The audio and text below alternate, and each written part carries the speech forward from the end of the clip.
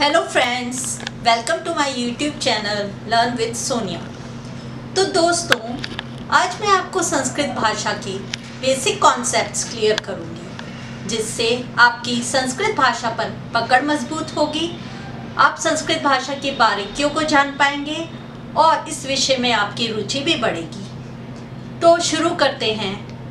Let's get started जैसा कि आप जानते ही हैं हिंदी भाषा में दो वचन होते हैं, एक वचन तथा बहुवचन। परंतु संस्कृत भाषा में तीन वचन होते हैं, एक वचन, द्विवचन तथा बहुवचन। एक वचन वह शब्द जिससे हमें एक व्यक्ति, एक वस्तु अथवा एक प्राणी के बारे में जानकारी मिलती है, जैसे कि गमला, राखी, मैं, वह। द्विवचन वह शब्द है जिससे हमें दो व्यक्ति, वस्तु या दो प्राणियों के बारे में जानकारी मिलती है। जैसे कि दो गमले, दो बच्चे, हम दोनों, वे दोनों, तुम दोनों इत्यादि। बहुवचन वे शब्द हैं जिससे हमें दो से ज़्यादा व्यक्ति, वस्तु या प्राणियों के बारे में जानकारी मिलती है। जैसे कि गमले, राखियाँ, वे सब हम सब इत्यादि। संस्कृत व्याकरण मूलतः दो रूपों पर आधारित है। एक धातु रूप दूसरा शब्द रूप धातु रूप चार प्रकार के होते हैं। सबसे पहले लट लकार लट लकार लट लकार को लट लकार यानी कि प्रेजेंट टेंस जो अभी हो रहा है प्रेजेंट में, उसे लट लकार में संबोधित किया जाता है प्रेजेंट टेंस दूसरा है रिट लकार रिट लकार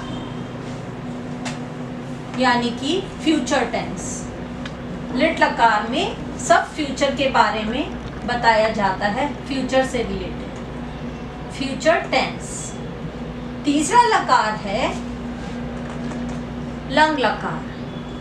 लंग लकार यानी कि पास्ट टेंस लंग लकार यानी कि पास्ट टेंस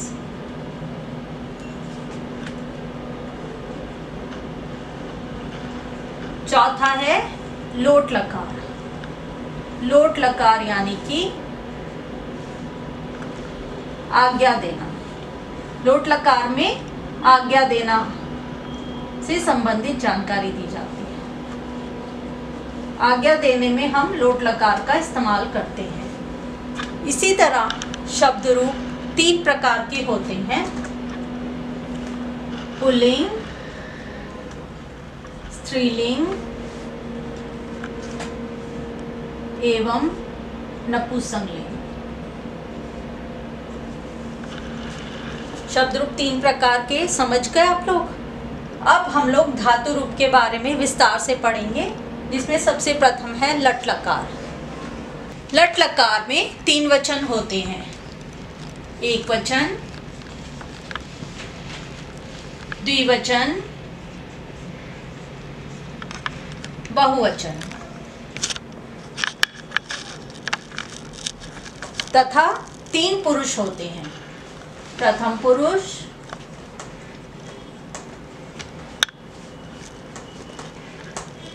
मध्यम पुरुष।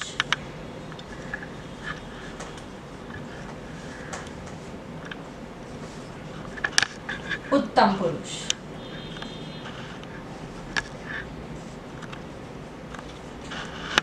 तो बच्चों, जो ये प्रथम पुरुष है, ये फ़र्स्ट पर्सन नहीं दर्शाता, ये थर्ड पर्सन दर्शाता है। प्रथम पुरुष यानी थर्ड पर्सन थर्ड पर्सन जैसे वह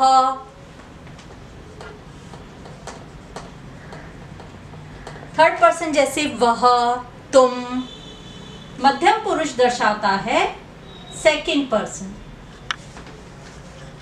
second person second person मतलब तुम तुम दोनों, तुम सब। उत्तम पुरुष दर्शाता है फ़र्स्ट पर्सन फ़र्स्ट पर्सन यानी कि मैं, हम दोनों, हम सब। अब थर्ड पर्सन एक वचन में क्या आता है? थर्ड पर्सन एक वचन में आता है वह। द्विवचन में आता है वे दो बहुवचन में आता है वे सब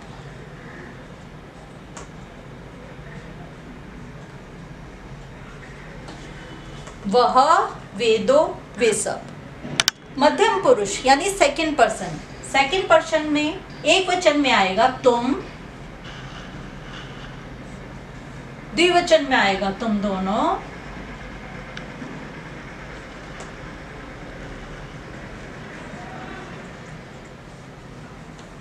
बहुवचन में आएगा तुम सब।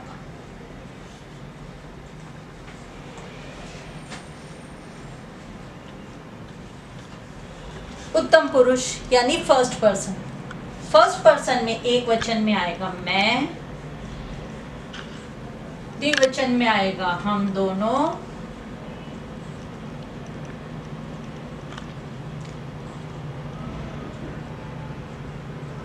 बहुवचन में आएगा, हम सब।